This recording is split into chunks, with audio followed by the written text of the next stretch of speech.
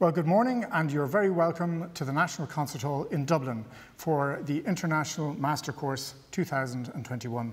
Now, while uh, we would obviously have loved to be with you in person and to welcome all of you to the National Concert Hall, we are nonetheless delighted to have a very exciting programme of masterclasses, seminars and workshops over the next five days. We do hope that you will join us for all of these, or certainly as many as you can, and please remember that the details of the schedule can be found on our website, nch.ie. Now, it's fitting that the first of our sessions in this year's International Master Course is presented by one of our artistic directors. Our artistic directors are Finghin Collins and Gwendolyn Masin, and we're delighted that Finghin is going to be taking today's piano masterclass. Uh, Finghin is one of Ireland's most successful musicians, and quite apart from being one of the artistic directors of the master course, he has performed in recital with major orchestras throughout Europe, the United States, the Far East, and Australia.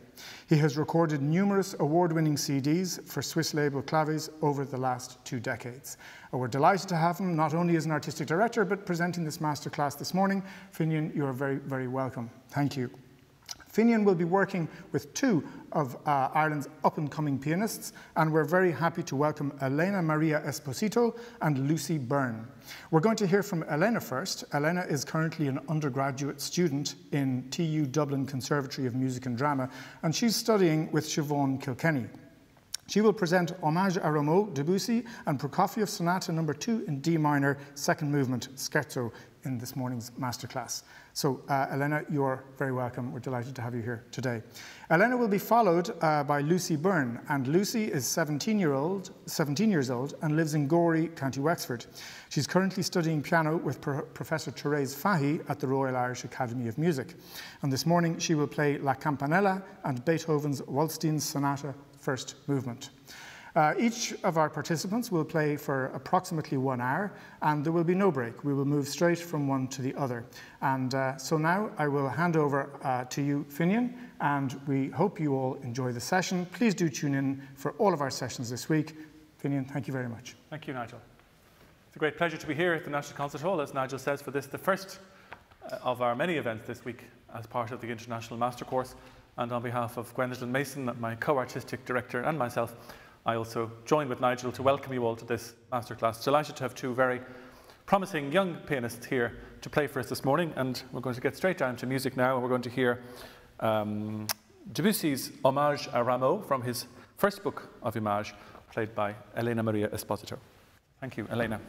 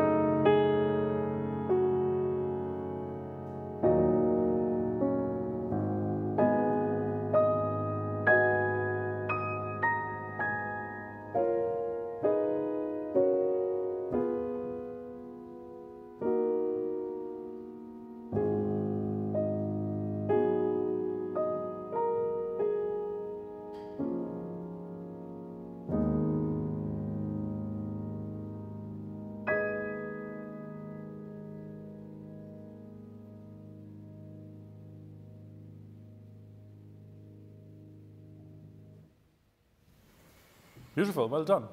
Thank you. Lovely. It's a gorgeous piece that I've, I've played quite a lot um, over the years, and it allows me to talk about one of my favourite topics, and that is uh, soft dynamics. Because Debussy, more than anything else, and we're going to talk later in the week about um, Debussy's violin and piano sonata with Gwendolyn. We have a, a, a presentation about that piece later in the week. Um, and looking at that too, but looking at this score particularly, what, what jumps out are all the soft dynamics.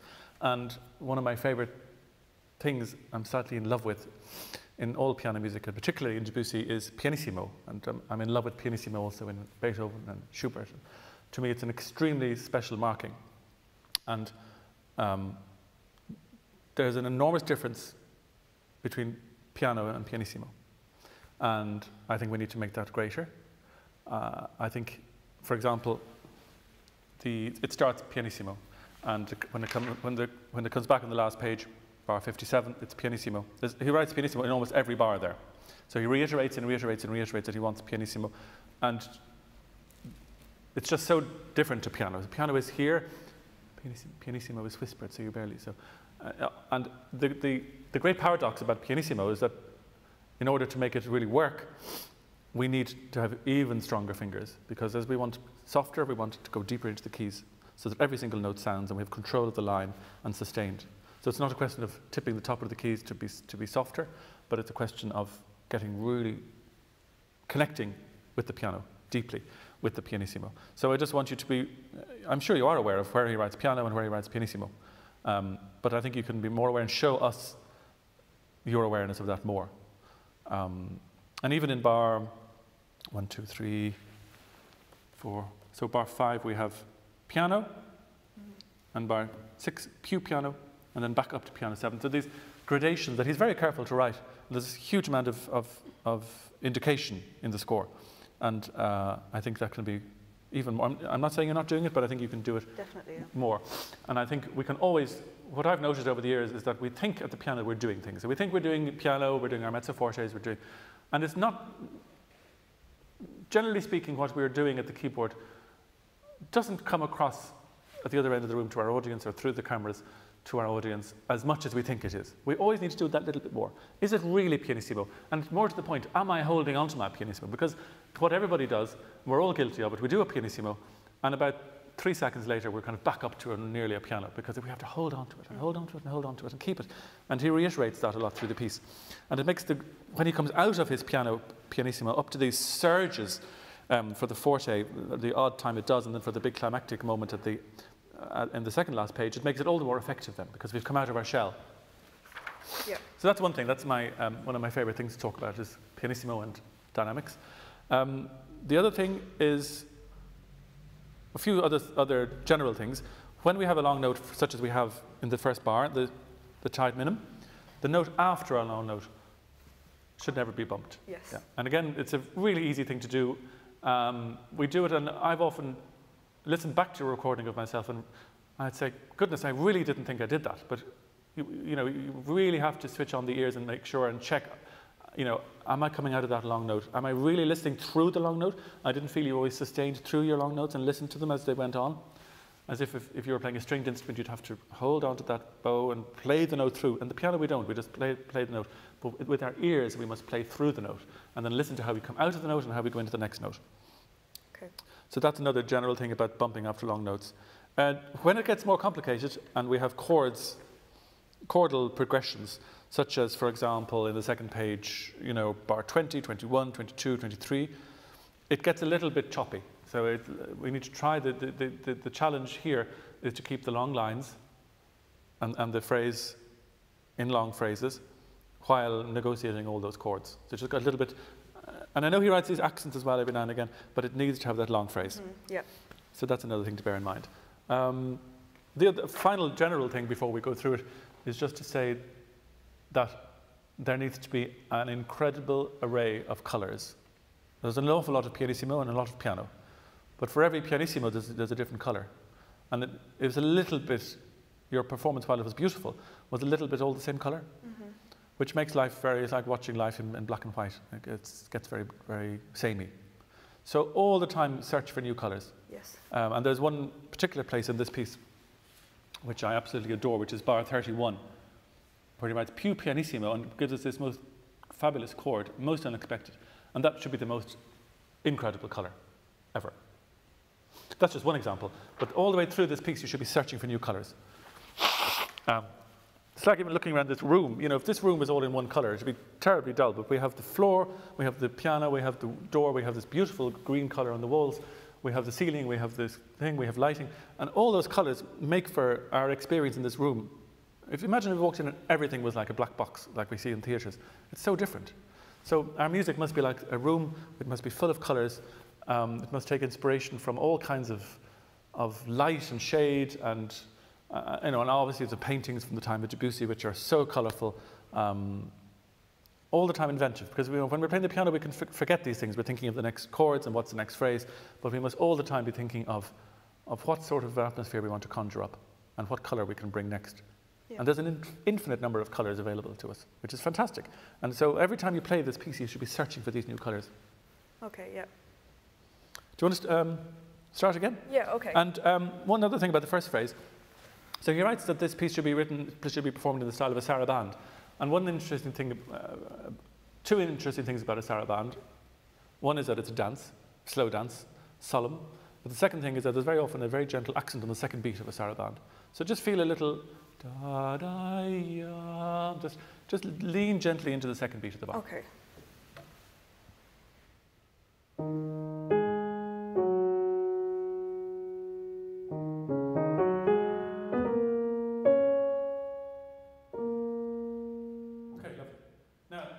You're playing the same line in both hands. Mm. Are you, have you thought about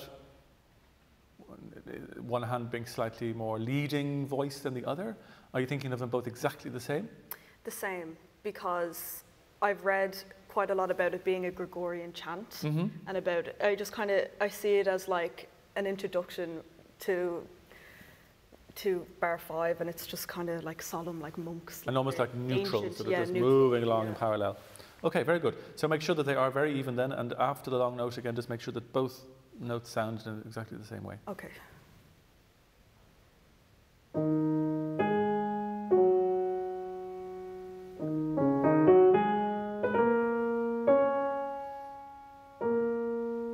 Have you thought about using the soft pedal? Um, no, but I will. Because to me, if I was walking into the room and didn't know this piece and I had to sit down and write dictation, I would say that was sort of piano. I wouldn't say it was pianissimo. If you put the soft pedal down uh, and really deep into the keys and make it sound distant, so it's distant, far away.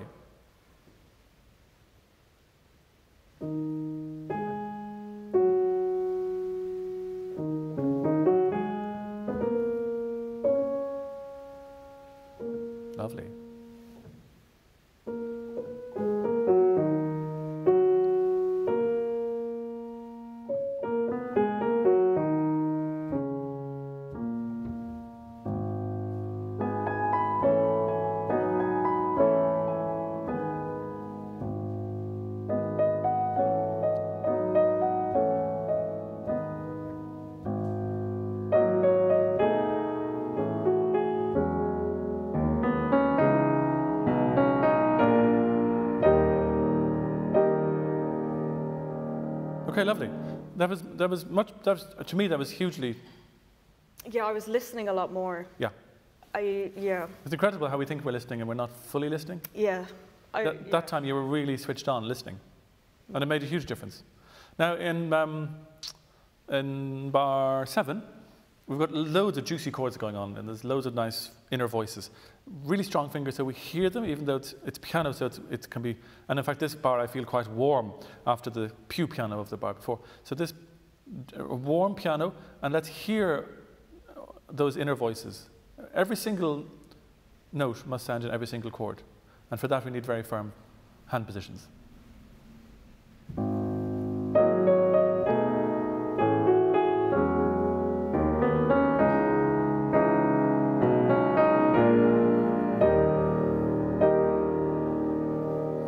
Last chord should be a bit softer because it goes up mm. and then down. Mm-hmm. And there's a sort of a sense of awe here. So don't. This is still the beginning of the piece. You don't want to give anything away yet. With, to me, the opening of this movement of this piece is very sober and very you know, it's, it's sort of on an even keel emotionally. It's later on that he kind of can't. It's like he started off, you know, this homage to Rameau. He's going to be in a very baroque style and very sober, and then as the piece progresses, it's like Debussy can't resist and he gets warmer and he gets more, the sun comes out and he gets more exuberant. But here, we're still very sober and it's just slight opening up for this crescendo and then the last chord should be soft again and warm but understated. Does that make sense? Yes, yeah.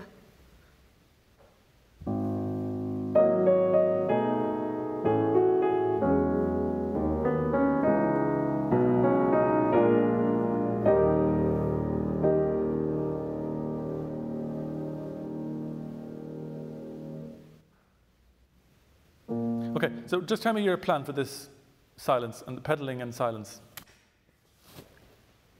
I don't want to lift up the pedal too early, even though there is a crotchet and a minim rest. But personally, I don't want to lift it up too early, but I'm not. Where have you planned to lift it up, or what's your plan? Like around the five, and then six, and then down. So you're giving us a crotchet of silence? Yes. That's not, that, that's not enough, is it? Well, uh, I would lift it up earlier. Okay. I think there aren't very many silences in this piece. There aren't very many rests, and I think that they need to be really listened to and performed as much as the music. And can I ask, when, because sometimes I feel when I do the rest, sometimes I feel I lift the pedal up and it just cuts the sound and it's not a nice gradation between the music fading. Should I just lift the pedal up like half and then fully or? Yeah, very gently up. Okay. And both pedal, if you have both down both together, so you don't get a Yeah. sort of a nasty sound. Okay. Um, but if you if you think of the silences as part of the music and not just you know a chance to get ready for the next bit, Okay. really play through the silence. Um, just try lifting up at the end of the chord and giving us the three beats of silence and see how that sounds. Okay. Will I go from seven? Yeah.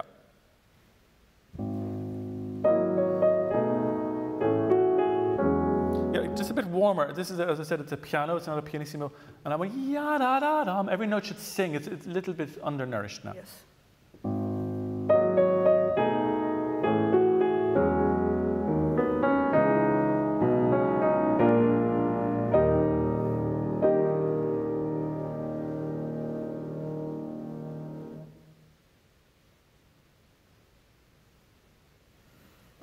But I thought you took, uh, uh, that was good, but then you sort of took an extra crotchet before you played the next bar, I thought. I wasn't you, counting. I you wasn't counting. counting. I was counting. yeah, I need to count. Uh, yeah, but the, the way you brought it up was good.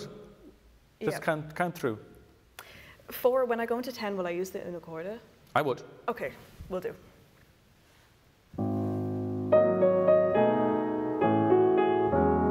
Yeah, sorry to go on about this, but uh, long phrase. So it's not ya da da dum, dee da da dum, but ya da da da, dee da da dum. One long phrase. Try and join everything up.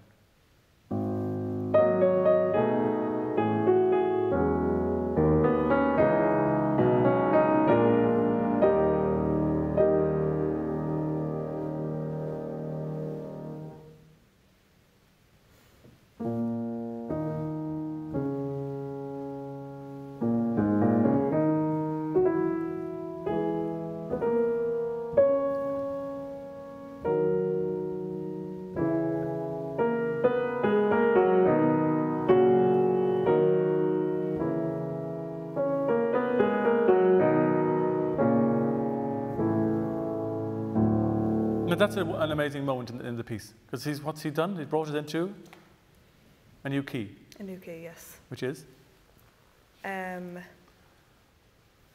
we've just landed in D, D- D major, D major, yeah. which which is quite. We started off with four sharps, sort of a G sharp minor, right? Beginning of the piece. Yes, yeah. So we've gone from G sharp minor to D major, which is huge. And it's like we've just landed in another landscape and there's, we've just, I don't know, come to a deep well and we look down into a well and there's this amazing court right down there. And it opens up a whole new landscape to us. So really show that and enjoy that and bring us to it. Okay. And this new music begins then, this new sort of, a new dawn. okay.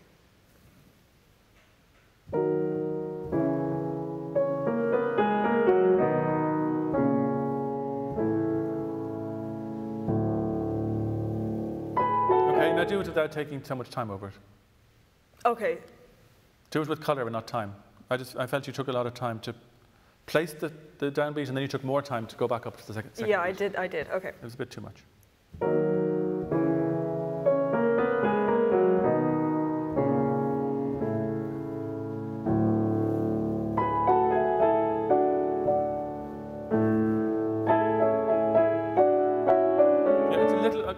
From, here on in, it's a bit beaty. Yeah, definitely. And it sounds like what you have to sound. I would suggest you sound like you're in a sense of awe and a sense of d- discovery. It's a little bit like um, too clear that you know what's happening, and there's this ya da da dee is a bit too evident Okay. instead of. Oh my goodness, this D major chord and ya da da da da, and a long phrase, and what's coming next, and you know you bring your audience along with you, discovering what's coming next. Take us along, but it's a little bit mm-hmm. this way. It's a bit too vertical and not horizontal enough. Okay.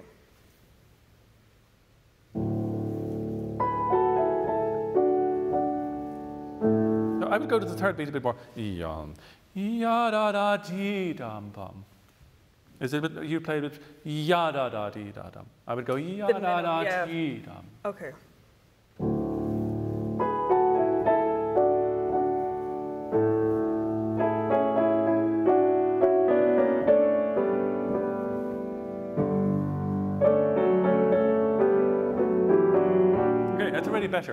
But let's, work on that a little further. The triplets can, are a little bit, um, I don't know, they're a little bit athletic. Ya ba bum, instead of really expressive, ya da da da da. And it's not that you need to play around with the rubato, but ya da da. Just each one, ya da da dee dum da. It's a bit dum bum bum. They're a bit short or something. Yes. Um, and again, just think in long phrases.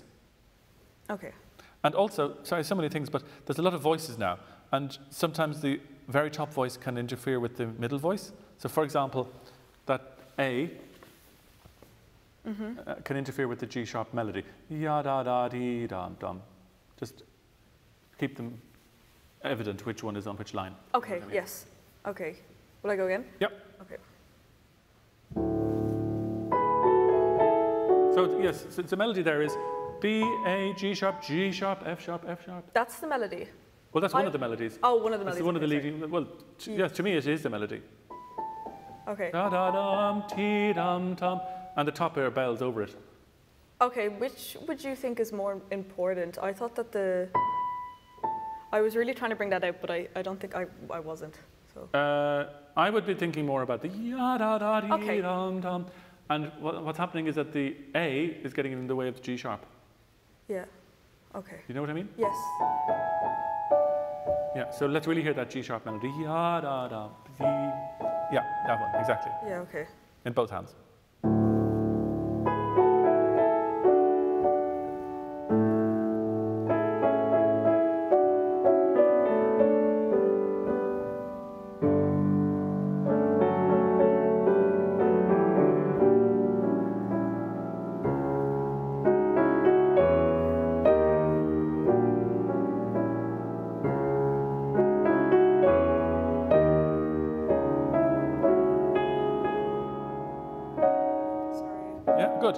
So that's it's that's very good. Just sustain the longer notes. Li- I don't feel you listen enough to the long notes. You're thinking about what's coming next. Okay. You're not l- living with them. If- so, for example, the the minim in bar 17, C sharp E. Listen to that through. Yeah. Um, dum team, dee da da da dum, dee dum, and again the C sharp E in the right hand in bar 18. Those minims, they have to be sustained through. Don't just play them and forget about them.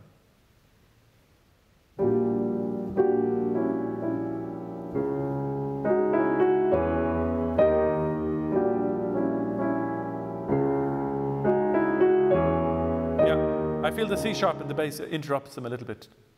The C sharp octave Okay, yeah. interrupts those lovely minims in the right hand.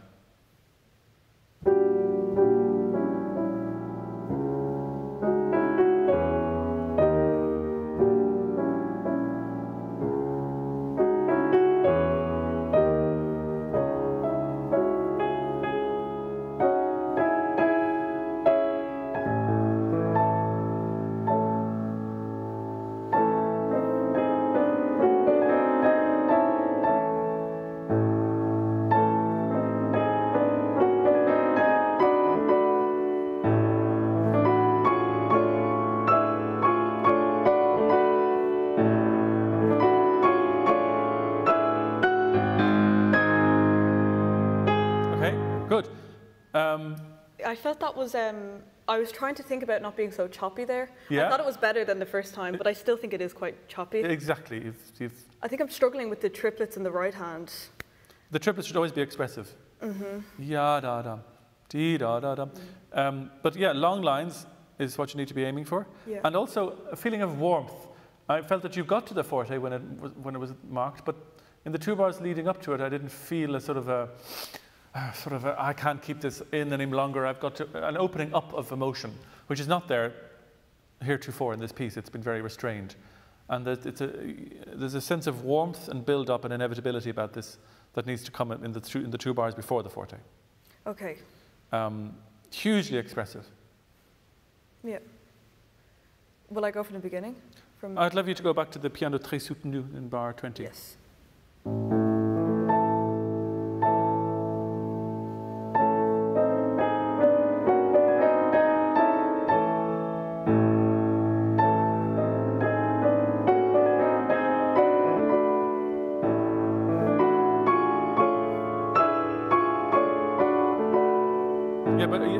Phrase away. Ya da ti da ti. Open up. Oh, okay. Okay. The crescendo there. So they're all little souffle, little opening ups, crescendos, bringing you up to the forte. Okay. And it's a bit too polite. Um, also, the way you play your bass A's, you play them, but then you forget about them. And in fact, if, if this was a little orchestral group, you'd have a double bass and he'd be holding it. Oh. You go boom, and then I think, oh yeah, down here, and then oh yeah, that's sorted. But it's oh, how you place it and how you listen to it then when it has been placed, how it supports what you're doing above it, Yes. because it's there. Okay.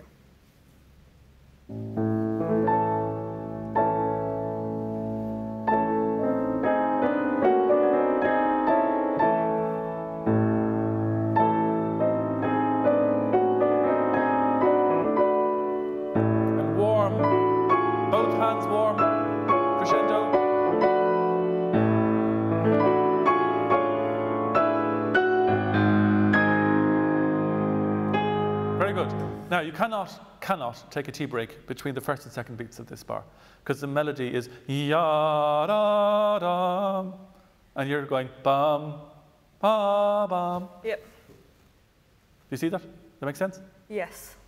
Is there a reason why you took a break there, or is it just a habit?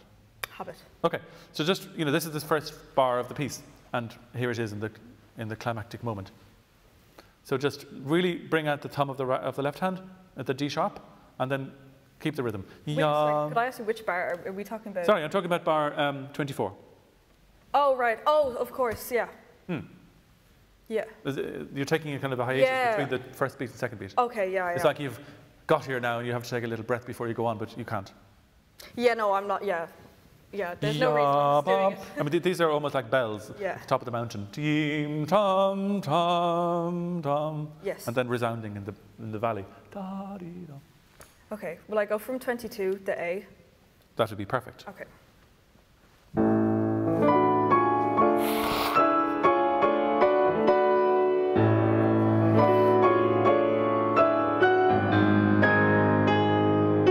Okay, now we went a bit quick, you did the opposite. Yeah, it was little- too fast. Yeah, you were just overcompensating. Oh, yeah. Yeah, so take your time and broad um, and, uh, yeah, and the exact same tempo as you've been.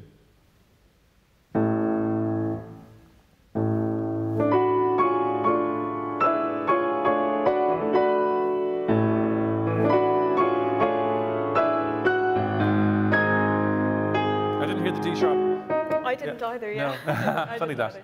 So really pr- try and project that with Yeah. the thumb. Yeah, Yeah. great.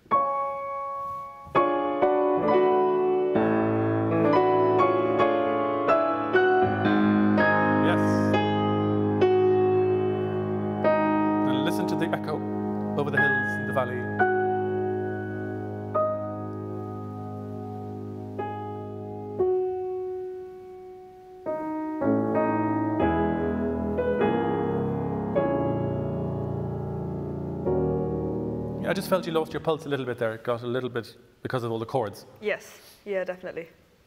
But that's that's coming on. That's your bells were very good. Yeah. Yeah. It feels better. It's, it sounds better. Hmm. Can you do, do you want to go from the climactic bar, the bar 24? Yep.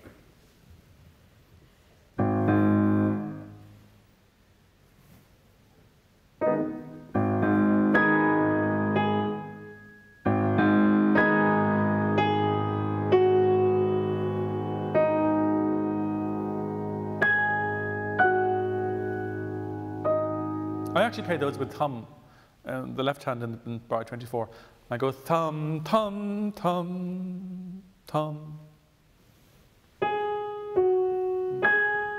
Yeah, it sounds much better. It's easier to be percussive. Yeah, You- and to get a sort of bell, bring out this bell sound out of the piano. Okay. Play around with that a bit. Oh, sorry. Yep. Great.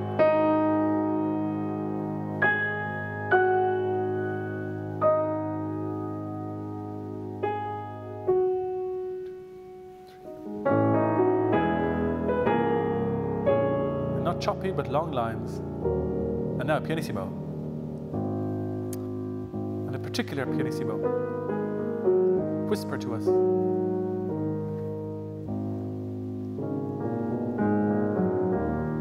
And this is the end of the whole first section. End. But then it goes on, and this is the most incredible moment coming up. This color. Oh, it's just the most amazing chord, I think. Yeah, So no. you know, it's the end of the first. It's like the end of the whole first chapter of the piece. Bomb, bomb, and then there's that breath of silence, that crotchet rest, and then but, but no, it's not the end. And something amazing has happened here, and it's just that chord with the B sharp uh, is this major ninth chord is just so pregnant with possibility and with new newness and and and a fresh opening, a new beginning. It's just I just think it's an amazing moment. Mm-hmm. And this is your, a moment to really draw in your audience.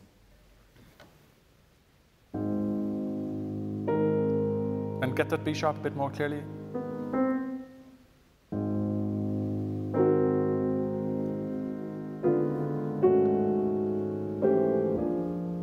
Yeah, I'm not hearing every note. Yeah, exactly. So the, the melody is in the top voice, but the B sharp it gives it the it gives it the color inside. Mm-hmm. Oh, it's an amazing phrase.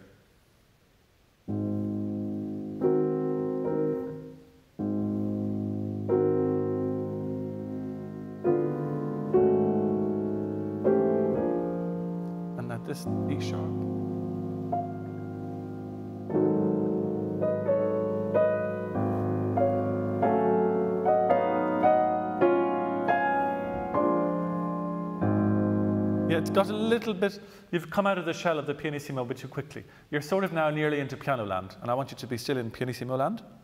Do you mean with the G sharp it was too loud? Yeah, Yeah. and the crescendo was a bit too much, and it's like you've given up a little bit on, your, on this place of wonder. We've just Yeah. found, we've come, up, we've come upon a place of incredible wonder, and you've left it behind you too quickly. Yes. That, I mean, again, that E sharp in, this, in, this, in the end of bar 32, again, is so unexpected and just so full of possibility. The E sharp in the right hand. Yeah. The most Um, glorious chords. should I lift up the una corda or will I keep it down? Because I was lifting it up when the E sharp comes in, but maybe I should keep it down. Keep it down until 34, beginning of, Okay. I think.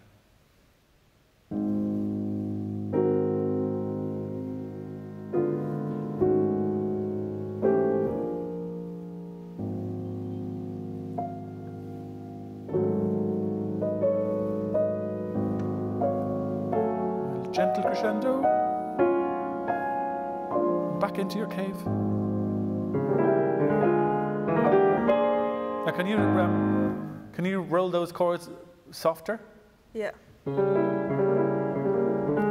Yeah. and quicker and lighter? Yes. So they're, they're, they're distracting from the main action.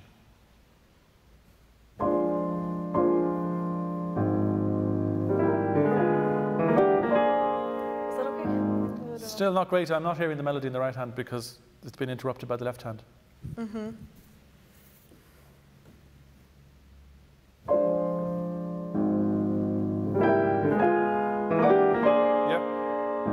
Get um, away with it because we're crescendoing up to mezzo forte, which is Yeah. huge. The difference, the distance between, mezz, between pianissimo and mezzo forte is huge. So this is quite a big opening up.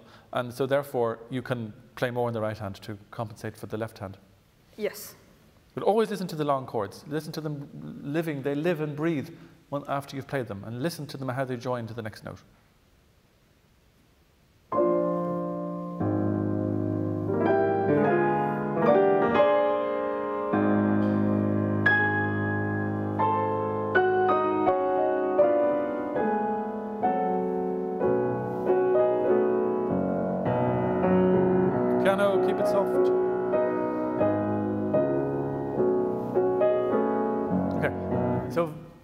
Time, another thing we need to be aware of is the voicing of the chords. So I know these are big chords now, um, but the top line we must hear B in the right hand, B, B, G sharp, B, da da dum da dee da da. We must hear the, the melody line a bit Yeah. more clearly. This is a bit different, isn't it? The character now. Yeah, What's happening now? it is modulating. It's modulating, but also I feel it's almost slightly dancing. Yeah. Like we've had this sort of suspension of time in bar 31 in my favorite place, and it's been very sort of flat. And now when we get to bar 38, it's almost like it starts to dance, to hope, to mm-hmm. move, to shift a little bit. Mm-hmm. So I just feel that sort of slight lightness. Because he gives us these dots on the notes, yum dum dum team, and it's a conversation as well between the two hands.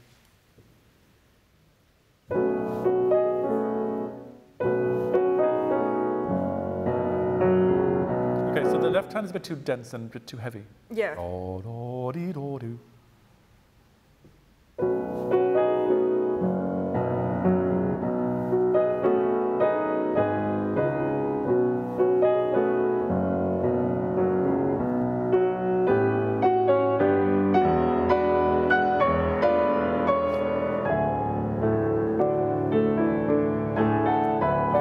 Good. Now just um, uh, the left hand is slightly interrupting again, like it was just a minute ago, the right hand. The, the main action here is in the right hand.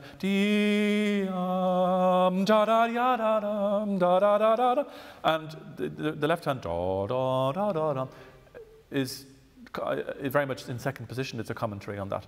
And Okay. so it's just taking too much attention away. Okay.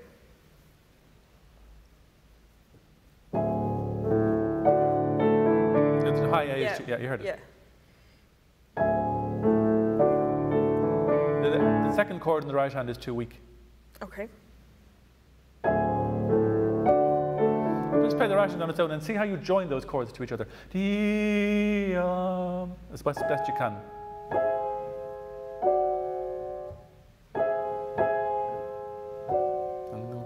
That too soft? No, Oh, okay. it's just make sure that you listen to. I feel, in, and we- we're all guilty of it. We play chord, chord, chord, chord, chord, and we don't join them enough. We don't link them with our fingers enough, and we don't link them with our ears enough.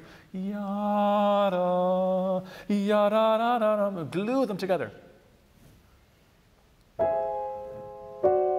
Yeah. Would you have? I don't. I'm struggling with it. Sorry. Phys- physically. Um. Yeah. Also, just like hearing it as well. You've got to imagine a long phrase. Imagine an orchestra of 27 violins and, and violas going, one bow, one endless bow, and it's joined. But the trouble with, our, with, piano, with the piano is that it's more a percussive instrument and we forget to join sometimes.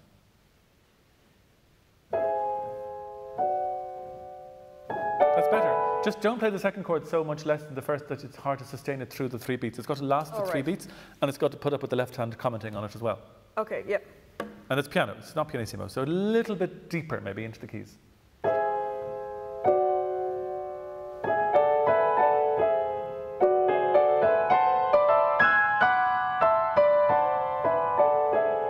Yeah, that's Yeah. it's already better. Yeah. I felt that was better. Hmm.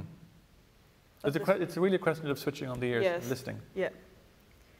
Will I try hands together? Yes, Too soon. no, no, that's. Good.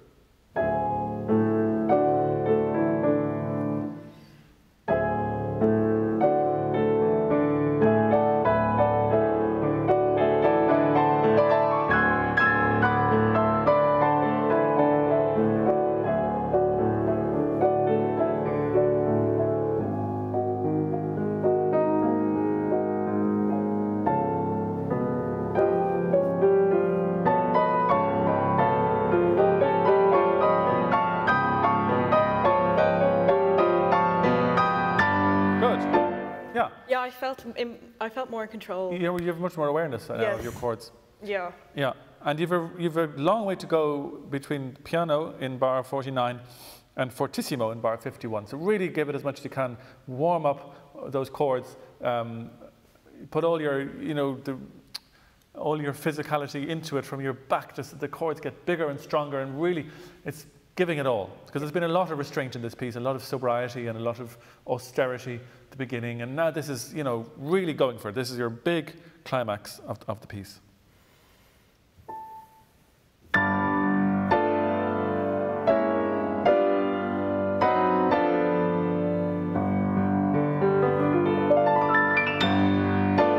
Sounds a little bit like an, ex an, exercise, that arpeggio. I know it. I, am I even when I'm practicing, I struggle to get it like like I. Yeah. I think it's technically I'm struggling with it. Well, I think you just count. It's good that you've counted and you've got you, you're pacing it, but it sounds like I am counting this bar and it goes like this instead of an waterfall going.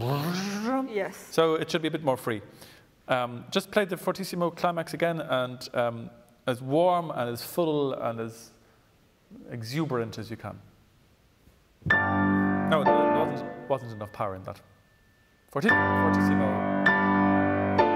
Good. Two, three. Yeah. Wrong notes, but it. Yeah, it's, it's, it's, it's getting there. Yeah. Yep. Yeah. Will I go again? Yes.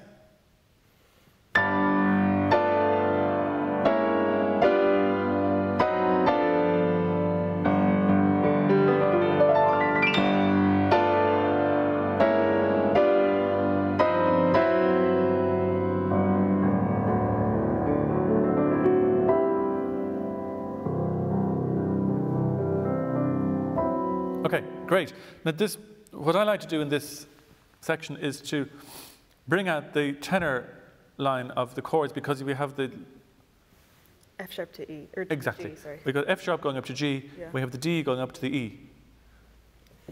And in the last bit bar, we have the D going into, up to the D sharp. Yes. So um, we have the top note, of course, the top Bs, ringing out like bells over the valley, but we also have that lovely middle line.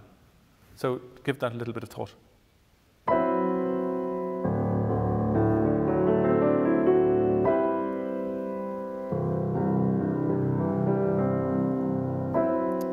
It's coming. Yeah. Yeah. It's better. It is better.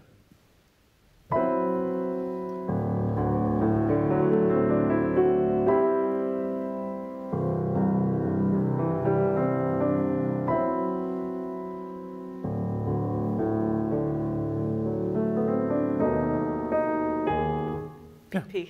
PP, exactly. Yes, PP. Very good. Now look, we've 10 minutes left, so um, why don't we, would you like to play through your other piece just so we, Coffee? so we hear it? And Yep. um, I'd have been on a bit longer with that because it's just such Stunning, a, yeah. a fabulous No, piece. thank you very we, much. We were doing good work, I think, so I didn't want to interrupt too soon. But why not hear the scherzo? This is the scherzo from um, Prokofiev's second Yes. piano sonata, something completely different to what we've just heard.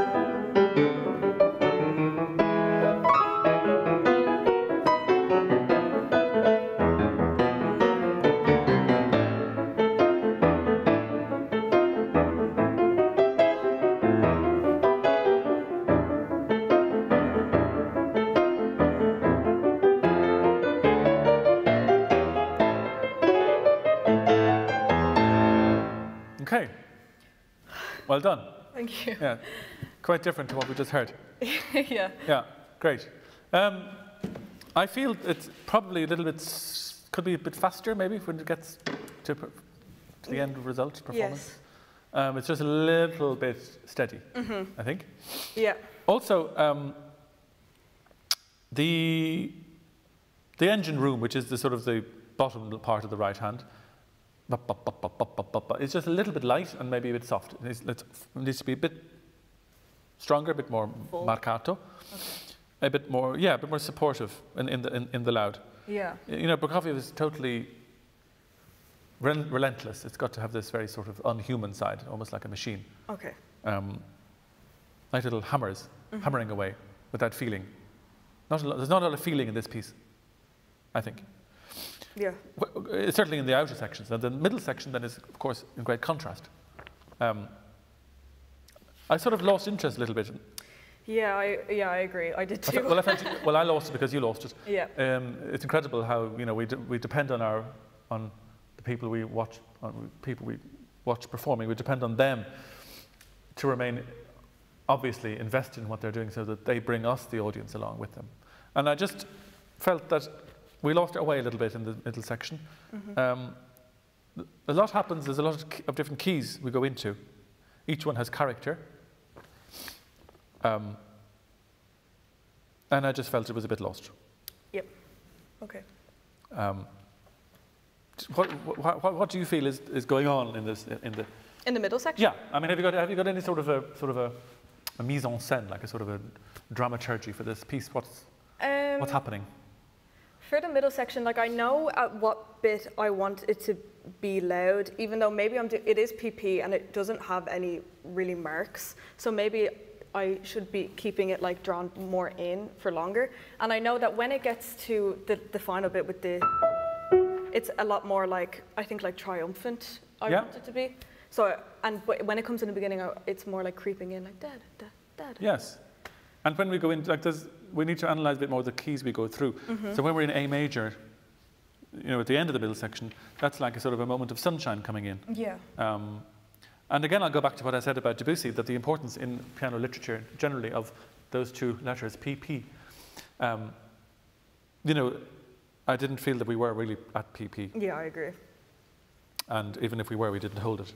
So it's, I suppose, the, the big um, selling point of this music and this movement is the enormous contrast between the opening and uh, closing sections and the middle section. And it's just to transport us from one to the other in a way that is totally convincing. hmm Yes, definitely. Um, just play, um, since we only have a few minutes, just play the, the end of the first section and into the middle section, just to get that transition.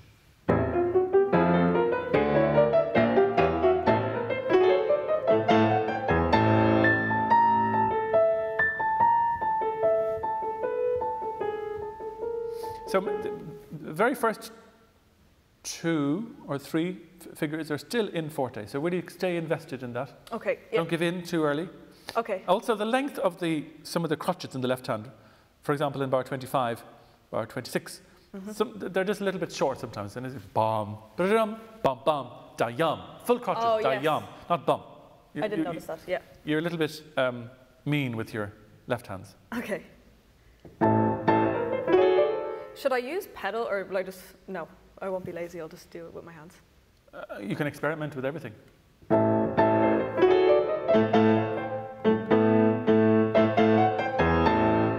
Yeah, I see what you mean. I'll have to practice it. Yeah.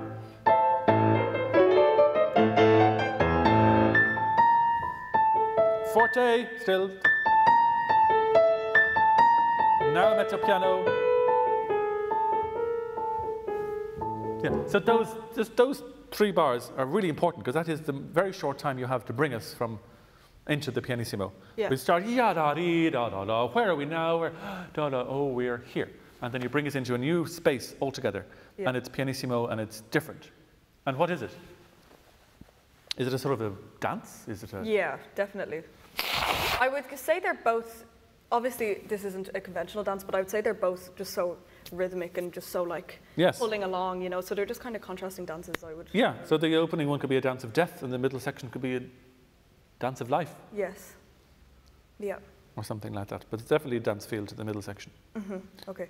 Um, just do once more from the da da dum da da dum da da dum. Oh, sorry. Um, I should separate. I feel like I should separate those, right? The da da da breath, like. Yes. Okay.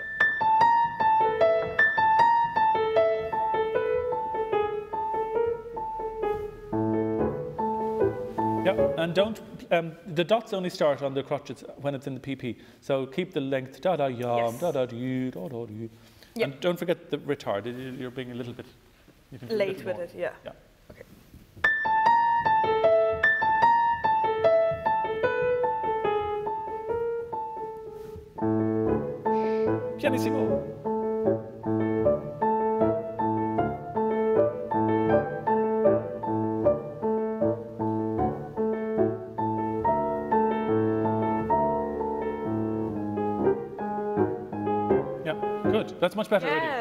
Was much better. It's already yeah. much better. Mm-hmm. Um, and then watch how you do the retard, how you sell that to us, and how you move us into this new key. It's like you're having fun with it. Let's try this key, and then let's try this play.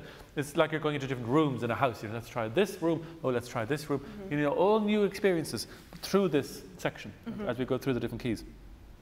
And uh, those that wonderful B flat bell on bar 38, 39. Da da ya, da da ya. Just enjoy that a bit more. Okay. So it's- a question of really examining each phrase and saying, what do we want to bring here? What, how does this fit into the story? How do we present this? How do we bring our audience along the story? Telling a story all the time Okay. Yes. Okay. and not getting lost and, get- and sort of losing us. Yeah. Okay, well, I think we'll leave it there. Okay, today. I thank hope that's been helpful. Thank you so yes. much for. Thank you so much. Thank you. It's been great. Thank you. Right, so now I think we can welcome Lucy Byrne over to the piano, and uh, we're going to hear some pieces by Liszt and Beethoven. We're going to hear La Campanella, wonderful etude by Liszt. Oh, thank you. And, um, and then some Beethoven as well, I think. So welcome to our class, Lucy.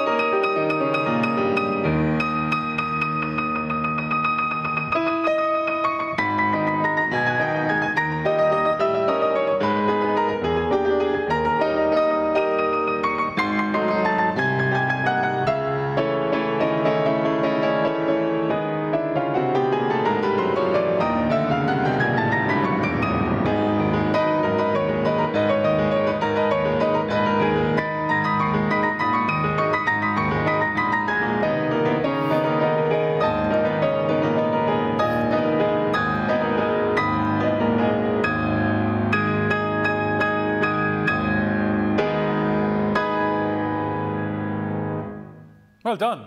Terrific. Thank you. Yeah. Very demanding piece, isn't it? Yeah. Yeah. But you're well able for it. It's, it's super. Um, very impressive.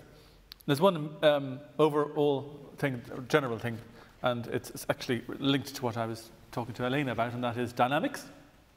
Most of this piece is actually marked either piano or pianissimo, uh, or mezzo piano. And it's really only the end, the last two pages, that it really gets up to forte. And a lot of it is just a, little bit, you're giving it away too early, it's a little bit too loud too soon. Okay. And it'll be really more effective. Um, after all, it is a little bell, la campanella, little bell. So it's got to be very, um, the softer and more tinkly it is, the more effective this piece will be. And the more effective the end will be because it's this big burst at the end. But if you give it away too soon as the piece goes on, um, that, that's a pity. So there's, uh, there were a good few moments where I was sitting here and I was seeing P and PP, and you were. Now I know this is quite a reverberant space, and we have the wooden floor and everything, but you were up somewhere near mezzo forte and forte. Now I know it's, it's a difficult piece already, and it's even harder to play soft. Um, so I know that's an extra challenge, but that is what the man wrote, and that is what we have to do as pianists. We have to do our very best to do exactly what he said. So, for example, this, this page here, page 12, the, the più mosso, um, mezzo piano, and then pianissimo, piano, piano, piano. So it, it, should all stay more undercover, and it's, um, it's, it's giving away too much too soon. Okay? Uh, so that, that's kind of uh, the, the one general comment I'd have. Um, but we can start again at the beginning and uh, see what else we can bring to it. Um, there's a lot of repetition of, of, of similar material, so it's a question of keeping the sparkling nature of the sound and keeping the attention and going again for different colors and saying this soft and this soft and this soft. It's, so it's not all again the one color. Yeah? Yeah. S- start again?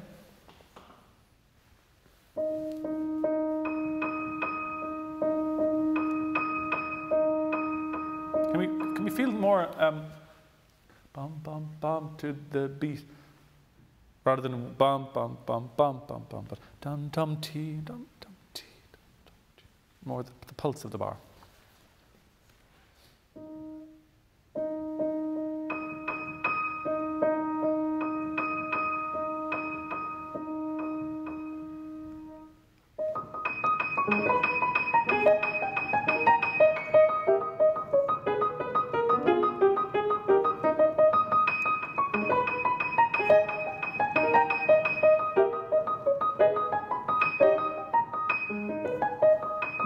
So that's our first phrase. And that's very good. I still think it could be slightly softer now, and it's not pianissimo, it's piano, but he writes piano ma sempre. He really wants us to stay it's quiet. Um, so a little bit quieter, and then these two accents at the end of the phrase could be a bit more clear then. Yeah. Just from the semiquavers.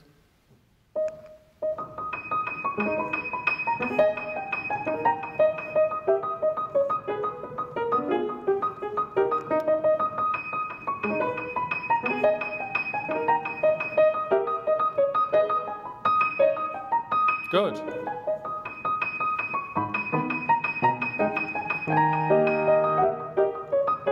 Keep it soft and light.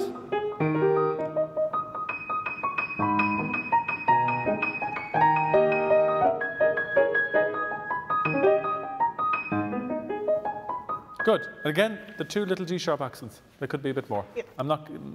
Again, like I said earlier, we think we think we're doing. We think we're doing what's written, and we're often not doing it enough, so it doesn't come across. So um, a little more on those two two little extra bells there, and um, all the time be aware that those top D sharps, because they're high up on the piano, they're they they're quite. You barely need to touch them; they'll they, they'll sound. So a little bit um, gentler on those, Okay. I think. And all the time be aware of the phrasing as well of the, mel- the main melody. Dum dum dum team dum dum dum dum dum team. Dum. So it has a, a shape. It's a little bit. It's not that I want big shapes and big, you know, crescendos and diminuendos, but uh just a little awareness of the of the shape of the phrase. Dum dum dum dum dum dum dim dum dum dim dum dim dum dum dum. So it's not too too flat. Okay. We'll go from the second phrase maybe. The bottom of the page there. Yeah.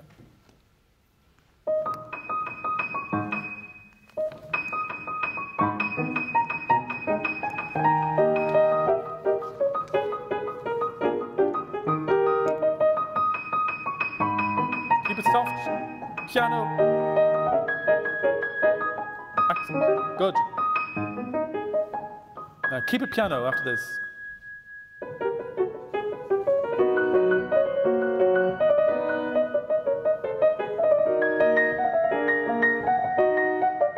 Okay, so here we have three phrases, right? Three short phrases, two bars each, and they need to sound a bit different. They sound exactly the same. So just give it a bit more variety of colour. This one, and this one, and that one. Three different characters.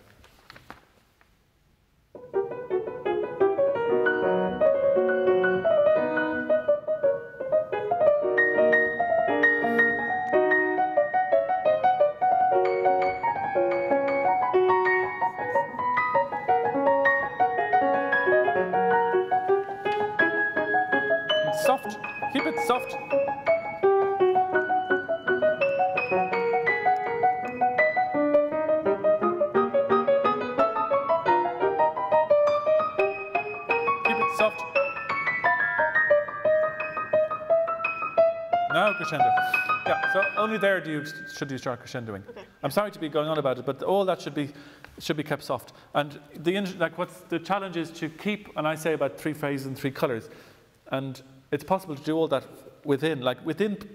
Let's just take piano as a dynamic. Within piano, we have a huge variety of of colours, of textures, of voices, of characters. It's not that we have to play, if we want to have three different um, characters, we have to go suddenly into mezzo forte. We don't. Within piano, we search, and we, we part of practicing this piece is because it's a very technical piece, and we can forget about colours and forget about dynamics enough. Um, part of the practicing and prepar- preparation of this piece is to go through it and say, okay, this is all piano now. How, what colours am I going to get within piano? What am I going to search for? Oh, I could do that one a bit darker. I could do that one a bit slightly more, but still within piano. I could do this one with a different colour again. Um, and then listening uh, as you're practicing it to this section because it goes very, very high and quickly can become a sort of a mezzo forte. And all the time you're checking at home, you know, am I still playing within piano? Um, uh, am I still getting shapes within piano? All, all of those things need to be checked constantly. And all the time uh, re- referring back to the score. Where exactly does he write um, the crescendo? Where are we allowed to go up beyond piano? But it, it'll be incredibly effective if you keep it soft and then only go up when it's allowed, and then back soft, and keep soft, and then only go up rather than giving it sort of letting it letting the cat out of the bag too too early on. Okay, does that, Yeah. does that make sense? Yeah. Um, just go back to, to, to there.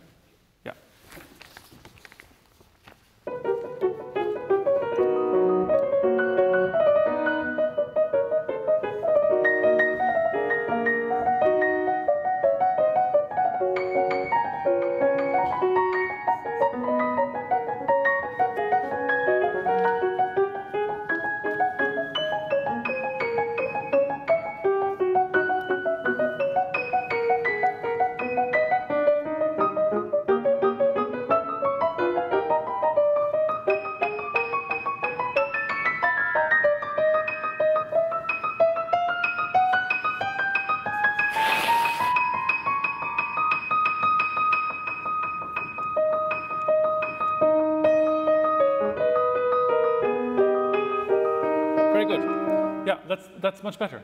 Um, and what we can do within the piano as well is to do more of the accents, because the accents uh, need to stick out a bit more. And the more soft you have everything, the more the accents can poke out. And so these accents here all can be more. Okay? Yeah. Um, just from somewhere just before those accents there.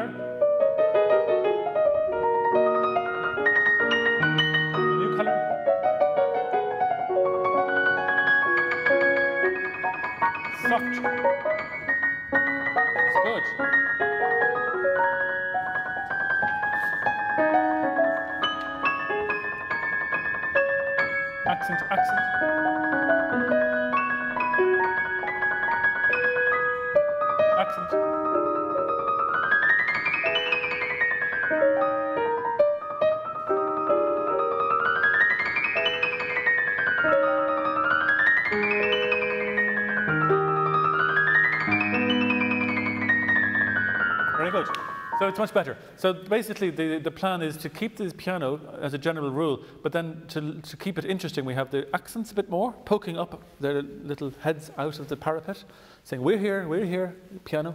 And then these hairpins as well can be a bit more effective, and back to piano. So the more the general uh, landscape is piano, then the more interesting it, it, it, it, it becomes with all the little things happening around, the accents and the swells. Does that make sense? Yeah. And I also want you to feel that you're having fun with it. Know it's very difficult, but it shouldn't be too serious. So have a bit of fun with, with the piece, with the, the swells, well, just a bit more, um, I suppose, entertaining in a way. This piece has to entertain as well. So, um, but th- th- this is much better because you're keeping the, the, the overall dynamic down, Yeah. which is great. And just go back to the score and check all those little accents. I, I, I'm not sure that you have all of them um, encaps um, and, and, sort of ground down into your memory. Uh, just go from somewhere convenient around just before where we stopped there.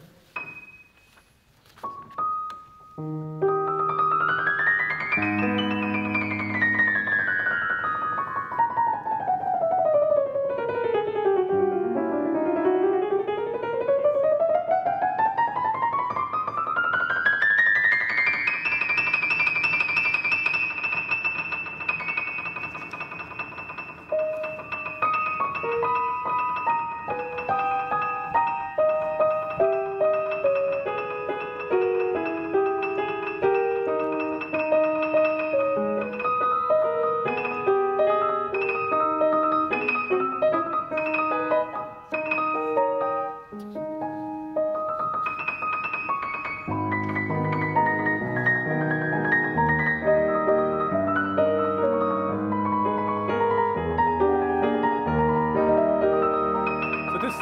Section I feel could just move a tiny bit. It's a little bit dum dum dum dee.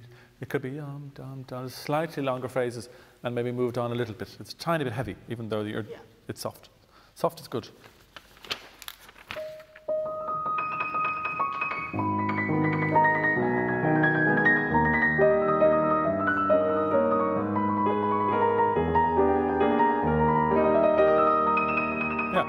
Better already. The, the, the trick is not to feel a, an accent on every half bar, every bass note. Bum, bum, dum, dee, dum, dum, dum, because that grinds it down. Dum, dum, dum, dum, dum, dum. Move it through the bar.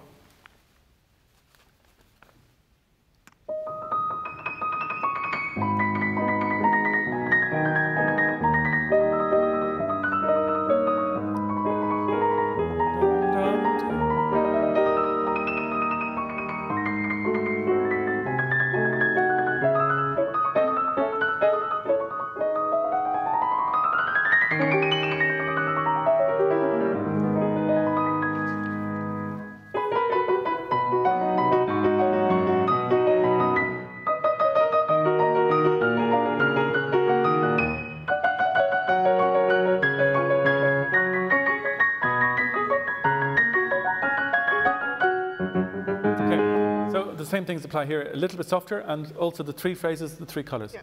Um, I know it's very getting very difficult now the, with the jumps. Um, the F sharp is giving you a bit of trouble there in the second bar, I think. Yeah. Yeah, so just um, isolate that at home and practice it individually. Um, just from the top of that page.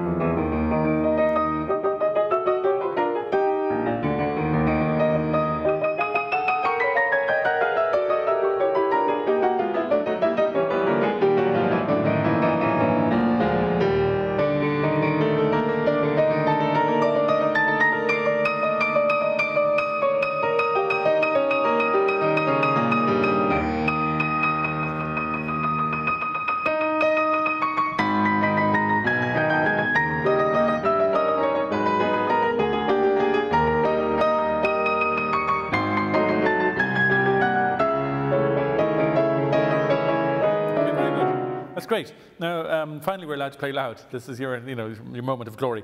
Um, try not to have too many accents on the downbeats. Ya ba ba ba ba ba ba ba ba ba ba ba ba ba ba ba ba ba. Try to only put only put real accents where he writes them. Um, so it's not too beaty, but otherwise it's excellent. Um, just from somewhere on that page.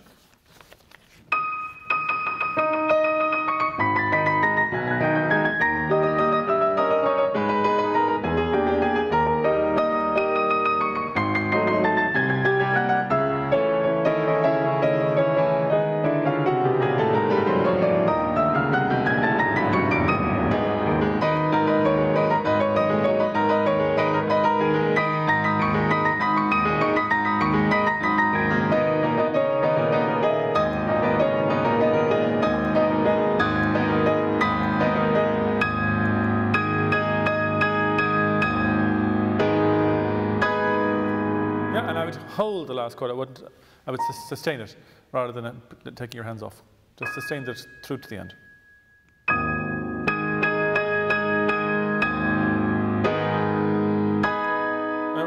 You don't have to change the pedal. Okay.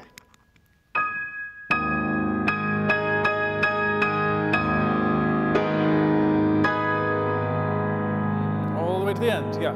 Hold it and sustain it, and yeah, very good. So um, technically, the, the, page that needs some, the work is the one with the, the yeah. those. Yeah, you know that. So that just needs some a bit slow practice and rhythmic practice and all that, and hands separately and all that. Um, but generally speaking, technically, you're well, well able for it, um, and it's it's great. Just dynamics, accents, shapes, characters, and um, when it comes to the performance, really um, make it look like you're enjoying it. It's not too much hard work. It is hard work, I know. Um, but that's great. Well done. You want to play some Yeah. Beethoven? We're going to hear the first movement of the Waldstein Sonata.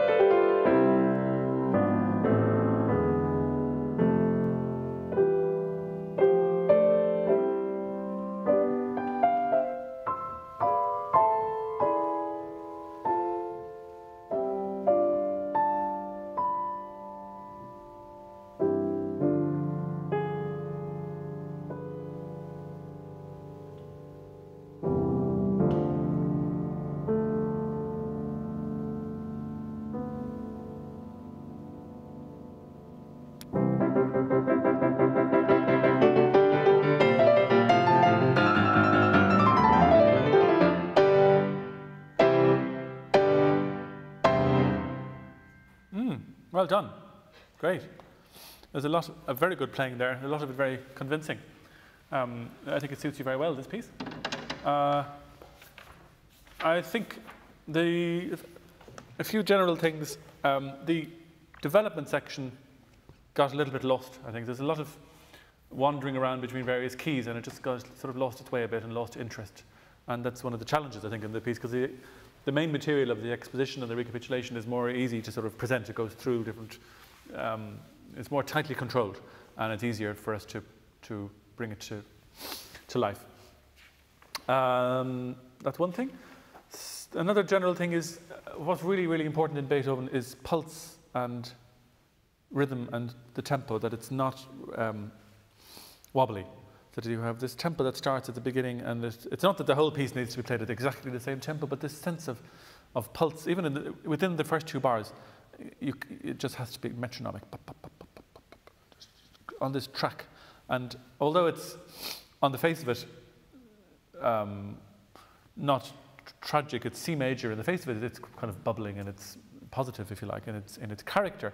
Um, but there's something always with Beethoven, particularly as we get into middle and late Beethoven, there's a sense of, of a sort of a dark intent behind what he's written. So there's a sense of, of some, some very dark line below that's carrying us on through this. So it's, it's a question of getting the character right, and that feeds into the pulse. Uh, it feeds into how we play. When it gets loud and fiery, it's absolutely very convincing how you play it. It's when it's softer and it's um, this material. Uh, it's how we finish each phrase. It's how we present that. It's, it's the length of the notes. It's the sense of, of, a, of a continuing pulse throughout that brings us from the beginning all the way to the second subject in E major. And then when we get to that subject in E major, it's also a sense of keeping the pulse through it. So with Beethoven, we can't really do rubatos or rits. He, he, he very rarely writes, he never, of course, writes rubato. He does write rit occasionally, but Beethoven should be kept, it's all the material is written in, and if it's not written there, we don't do it. So it should be, while of course this wonderful um, E major, second subject, is so different in character. It doesn't mean that we can get all, yeah, I would keep it a sense of pulse going through it and not too uh, free with the, with the tempo. Um, so it's a sense of pulse, a sense of energy. There's incredible energy, isn't there, in this music? Yeah. Um, and you had that, but it's, it's, it's to keep it. For example, here, yum, bum, bum, bum, bum. I wouldn't do a rit in that bar. He writes a decrescendo and then there's a pause. So all the suspense and drama is catered for with this pause. That's what he writes. He doesn't write so yum, bum, keep it in tempo and then just do the pause. So we don't add in our little rits, we don't add in rubatos. We keep on this sort of on this track that's pulling us through this music. Um, and then of course we have dynamics, uh, which were mostly very very good, but there again occasionally there are pianos and pianissimos which got a little bit out of, out of hand. Um, that's sort of the general, general, my general feeling on it. Um, there was a lot of very, very good playing, though, um, and a lot of very convincing playing when it got loud and fiery. Sometimes when it's not loud and fiery, it just lacks the same sense of conviction. And we're not sure, is this like a walk in the park, or is this something else, or is it, what exactly is the character? So uh, what, what, do you think is the character of the very opening? I think it's very dark and mysterious, mm. and it's just, it's, you know something's coming. Yeah but he's kind of teasing at it until yeah. later section. And there's a, there's a slight conflict, I suppose, in one's mind because it's C major. So in, on the face of it, it should be sort of a happy key, but there is something dark about it because it's down in the bottom of the, of the keys. It's something. To me, the, to me, it's a it's a mixture of ominous, this sense of impending something, um, but it's also got a sort of a if you like, a bubbly kind of an innocuous, and you know, when it comes to here, it's got a sort of a sunny, sort of harmless character as well. So it's to get that, I suppose we're faced with that a lot in Beethoven, this sort of conflict and contrast between darkness and light, and they're both very much evident here. So, to me, to me, a, a really important word and, and concept for this movement as well is energy. It's got this energy that's kind of, and even when it's more lyrical, there's still an energy that's driving it through, and we've to feel that energy all the way through the, the movement, even when it's soft and lyrical. Just try it again now at the beginning with some of those thoughts in mind.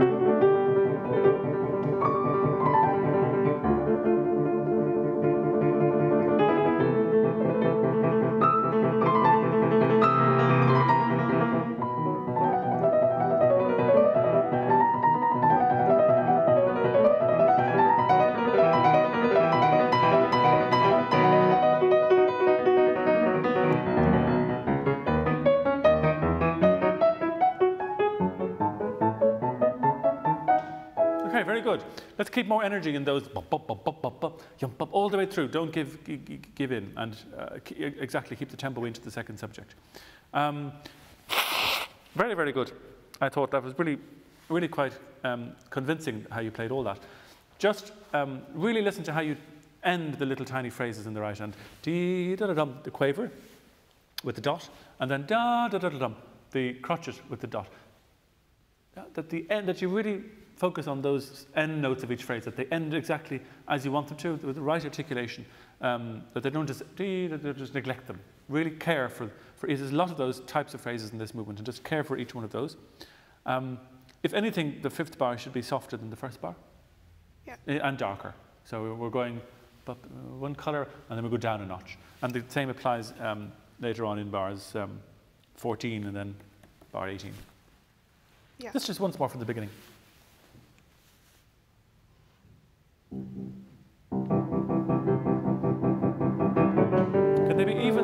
Shorter? Just, just the, the most the energy within them, this sort of sense of ominousness as well.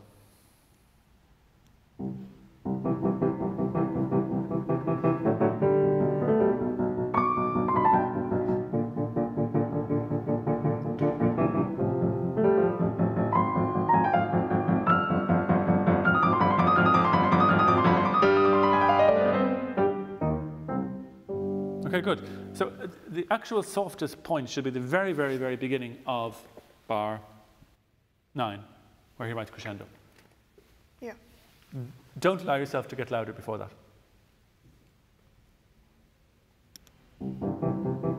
The very first note, the left, that first left-hand note doesn't have enough energy. It's what sets it going. Yes.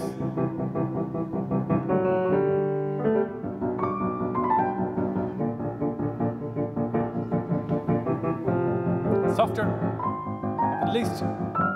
Now crescendo.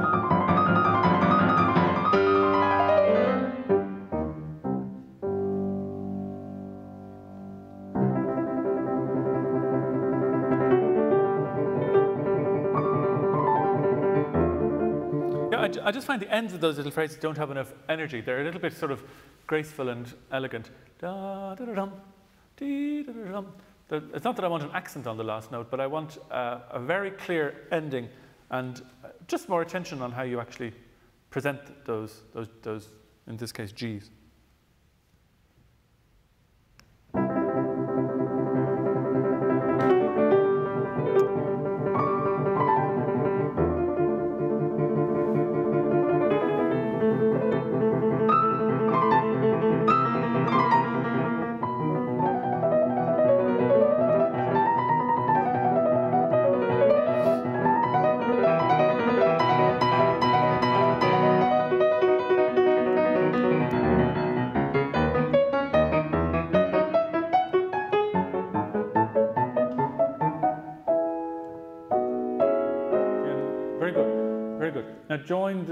That first minim to the next note. Ya.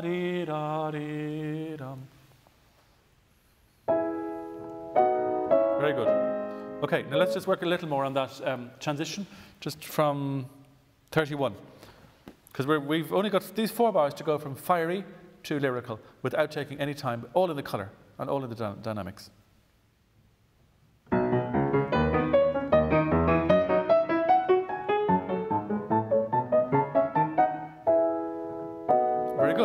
Now the G sharp needs to really sing I mean, both hands. The first, the first. This is an amazing part because just even the, the fact that it's gone into E major is uh, unusual from C major to E major. You'd normally expect him to go into G major or something, but E major. It's a very, very beautiful moment. And just enjoy that first chord in both hands, the G sharp singing and linking into the, the rest of the chorale.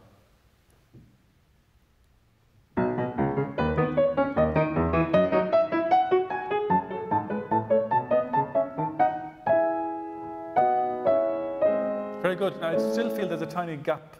There's sort of a comma or a pause or a hiatus between the G sharp, ya da da dum, which is wrong. It should be ya dee da da dum.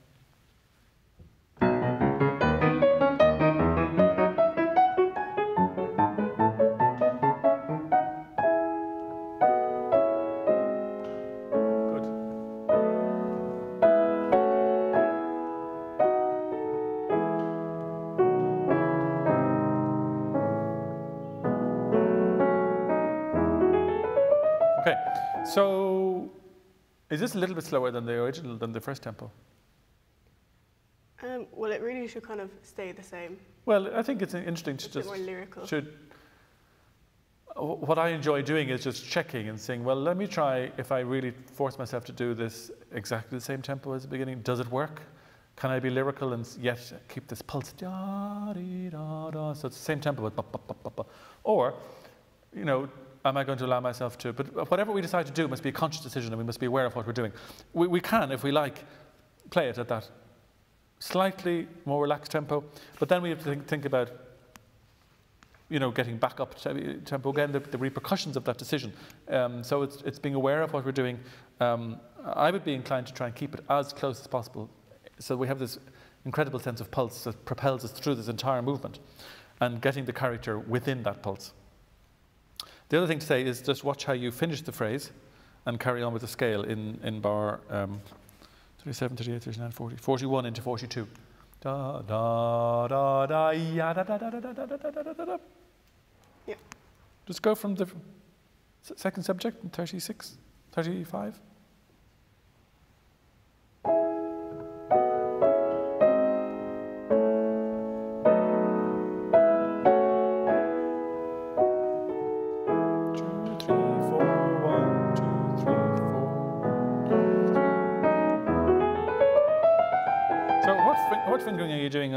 That E and G sharp? Oh, you're playing the E as well in the right hand?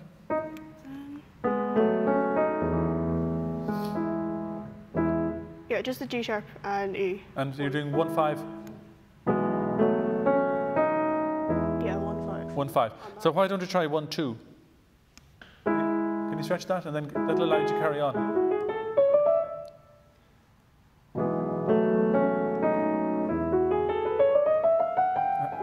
Feel? Yeah. Yeah, well, that's definitely better. Because then you won't have a big gap. Yeah. Okay.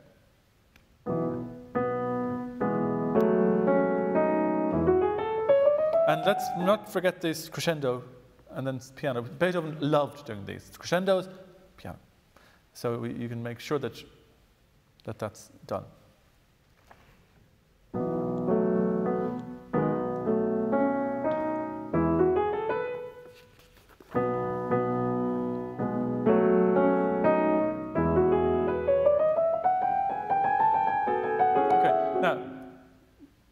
What are we going to pay attention to here in the first bit of bar 43, first note? And probably the, the held minimum to be. Nope. What I want to pay attention more to is the beginning of the melody, the left hand, the G sharp, Oh yeah, yeah. because that is your melody. Ya dee da da dum. And I didn't hear that clearly.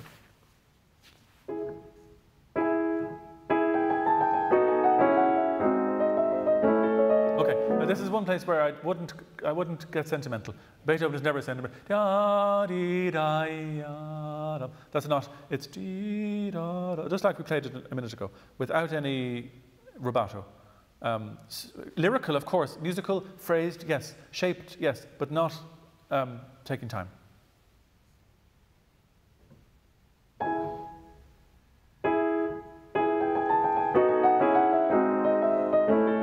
Still hearing a gap between the first note and the second note of the phrase. Da da da dum. And without any rubato on the second bar.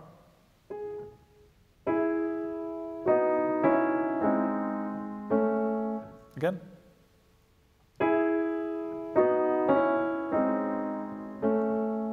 It's, it's getting better.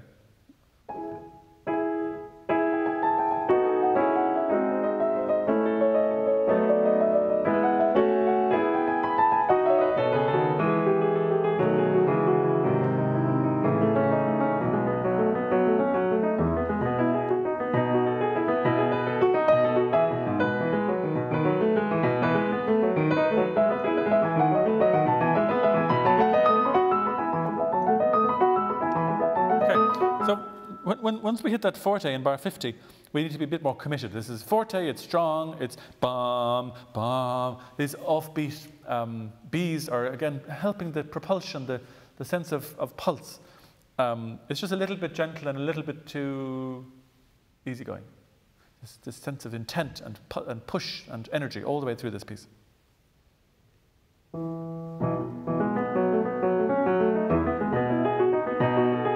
Forte.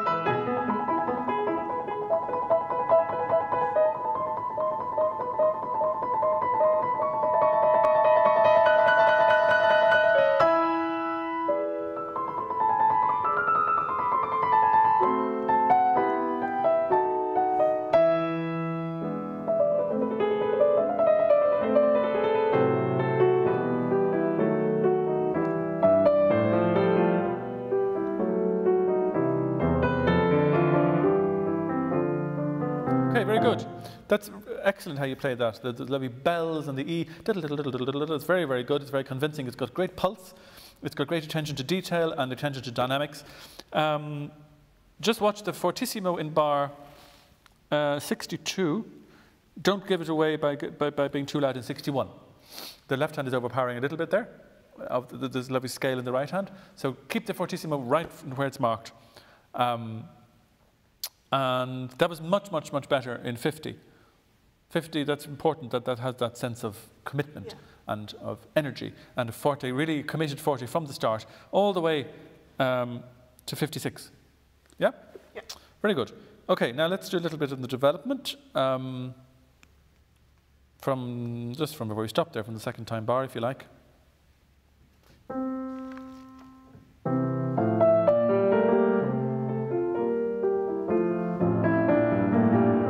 Now, we have loads and loads of these crescendos to piano.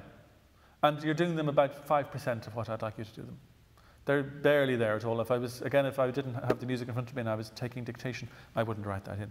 I wouldn't notice it. So, da da dee da dum, da da dee da dum. This is a classic Beethoven trait. He just loved doing this. So bring them out and show them to us.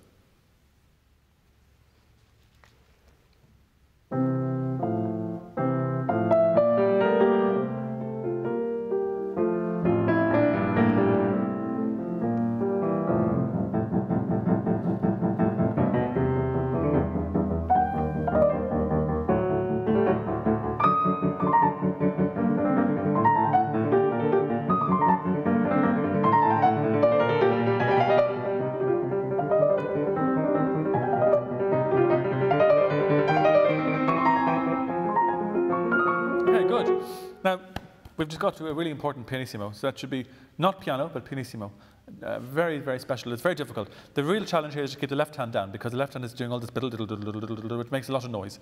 So um, as effective as you can, as faithful as you can to the score, just keep looking at this.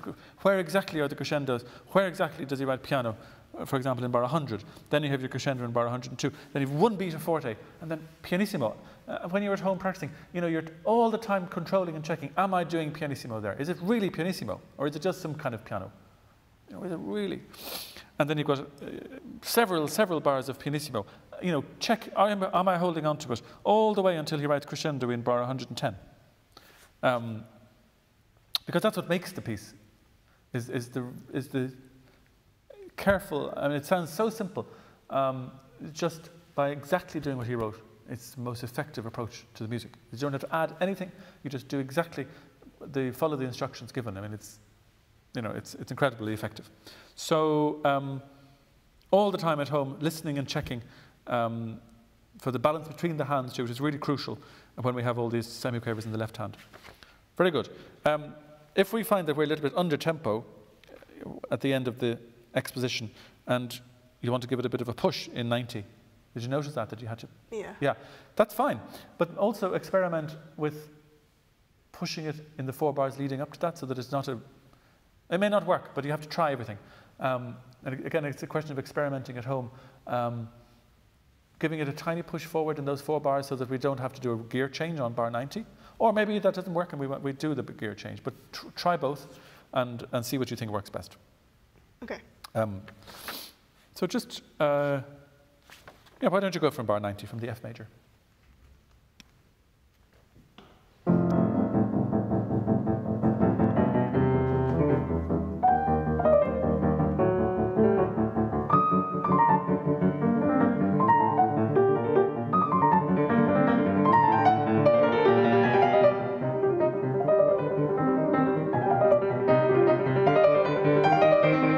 Okay, very good. Now every single um, figure here, every half bar, you've got another figure. Diddle diddle dum, diddle diddle dum, diddle diddle dum, da diddle dum. Every one of those has to have an, its own character, and you must be committed to it down to the last. It's just a little bit you're playing. Do you diddle dum, diddle dum, do you diddle dum, and they're all a little bit coming from the same saucepan. But it's like this, and it's this, and it's this, and each one has got its own little tiny DNA. Um, and each one is pushing the story forward. Each one is bringing us into a different key. Uh, so just try and really perform and commit to each cell that then makes this whole narrative come together. Once more from the same place.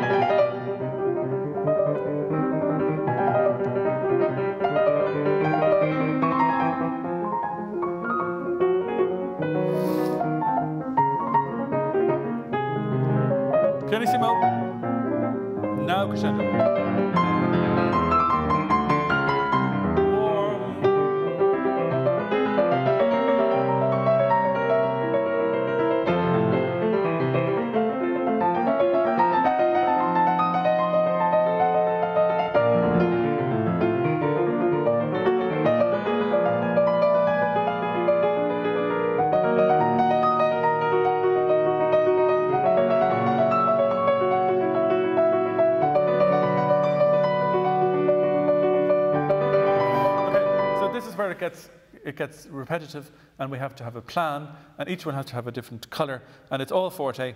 And what is your plan? Um, I think because the key changes so yeah. much, I feel like it should be, we're trying all the different keys, but we're trying to find which one exactly. is the right one. So it's like trying keys in a door. Yeah. Yeah. And do you think each one gets more, I, I, I feel that each one gets a bit more intense. Yeah. That this one, and then this one, and that each one gets not necessarily louder every single time, but sort of darker, and then maybe a bit louder, and then a bit this way, and it gets that you're, you know, you're going further down a difficult road as you go through the page. Yeah. Um, but just keep the intensity, keep the tension through it. Don't make it sound like it's just this and then this and then this. You're not doing that, but it, it could go that way. So just keep this sort of uh, intent and sense of journey and propulsion and energy going all the way through this because it, there's a lot of different keys. Um, and it's incredible if you think about, if you analyze the keys, I mean, we're going into places like B minor, which is about as far away from the home key of C major as you can get. So just really kind of enjoy that too, in a certain way, to enjoy the, the, the, um, the complexity of the journey, of the, ton- of the tonal journey. Uh, just one last time, maybe from the top of that page, so 112.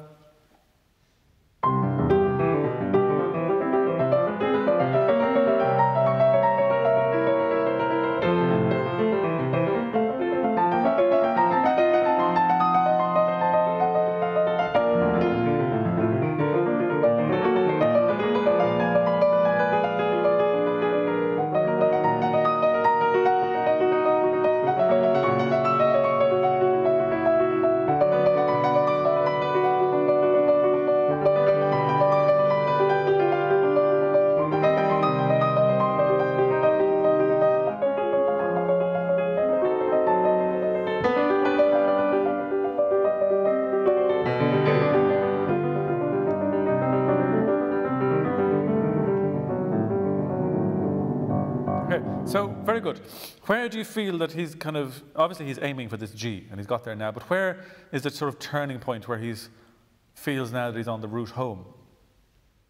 Um, around bar 134, I think. Yeah, 134, 135 and into 136, it's sort of the light comes that he's sort of gone in through the dark tunnel and he's coming out the other end into the light.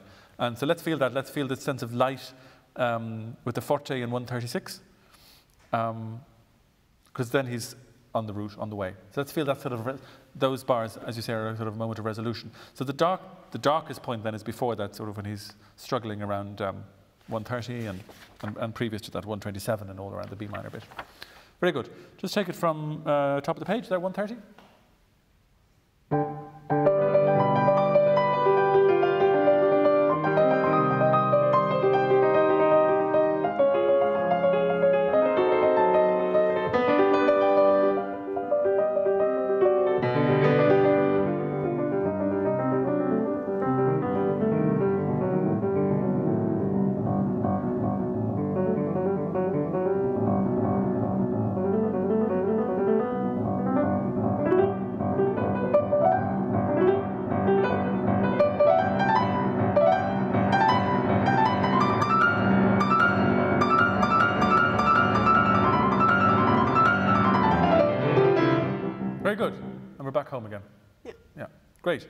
Leave it at that for today. But um, thank you. Thank you so much for coming in and playing these two very contrasting pieces. And thank you. Best of luck with the with the rest of it. You're going to do the rest of the sonata. Yeah. Yeah. Brilliant. Great. So, um, to everybody watching, thank you very much for joining us today at this inaugural event of the National Concert Hall's International Master Course. And do join us again later today at 2 o'clock. We're, we're going to have a a very interesting interview with Katie McGuinness, the artistic administrator of the Dallas Symphony Orchestra, originally from Dublin. So do join us then and do join us throughout the week for the rest of our events. You'll find all the details at nch.ie. I want to thank the National Concert Hall, Learning and Participation, the technical team here, and our sponsors, Michael Sheridan and TJ O'Connor. And thank you for joining us and good day.